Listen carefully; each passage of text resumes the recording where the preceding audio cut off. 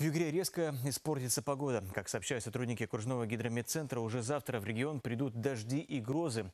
При этом термометры будут показывать до 28 тепла. Однако спасатели рекомендуют югорчанам отказаться от пеших прогулок под дождем. Автомобили парковать в гаражах либо вдали от деревьев. Местами порывы ветра могут достигать 17 метров в секунду. Речь идет о Сургуте, Сургутском районе, Когалыме, Нефтьюганске, Пытьяхе, Ханты-Мансийске и Белоярском районе. К слову, такая погода простоит в регионе до конца недели.